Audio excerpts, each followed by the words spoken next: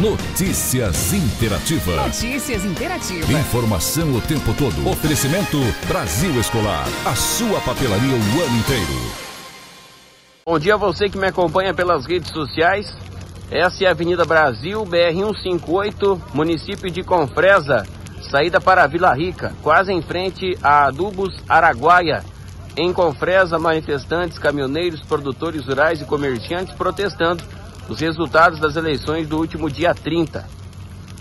Tá aí BR fechada, alguns quilômetros já de congestionamento pelos caminhoneiros é, na entrada de Vila Rica, caminhoneiros ao lado de Confresa também já parando.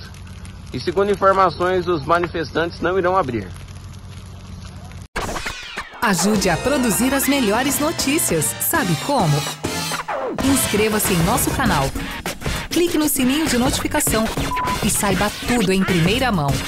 Ah, e não esqueça de dar o seu joinha. O YouTube prioriza nossas matérias e nos motiva a oferecer a você mais notícias da região. Interativa, só novidade. Novidade é. Interativa.